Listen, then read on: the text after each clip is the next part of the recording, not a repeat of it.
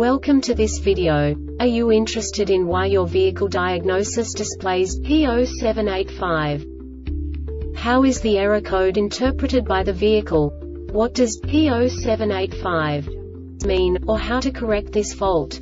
Today we will find answers to these questions together. Let's do this. First, let's look at the history of diagnostic fault code composition according to the OBD2 protocol, which is unified for all automakers since 2000. We divide the electric system of automobile into the four basic units. Powertrain, body, chassis, network. This distribution is defined in the first character code. If the second character is expressed as zero, it is a standardized error. In the case of numbers 1, 2, 3 it is a more prestigious expression of the car-specific error. The third character specifies a subset of errors.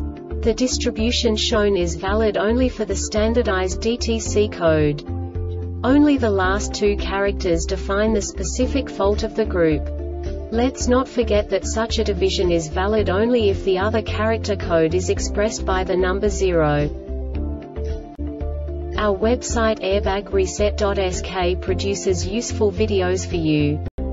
You do not have to go through the OBD2 protocol anymore to know how to troubleshoot any car breakdown. You will find all the diagnostic codes that can be diagnosed in a Audi vehicles. Also many other useful things. The following demonstration will help you look into the world of software for car control units. You unbelievably can move the video a bit further. The error code is split into two bytes consisting of 16 bits. One bit is the basic unit that each computer works with. The bit has two logical states. 0, low level, 1, high level. By combining the first two bits, the basic character of the error code is expressed. The next two bits again determine the second character. The last beat styles of the first byte define the third character of the code. The second byte is composed of a combination of 8 bits. The first 4 bits determine the fourth character of the code. And the combination of the last 4 bits defines the fifth character.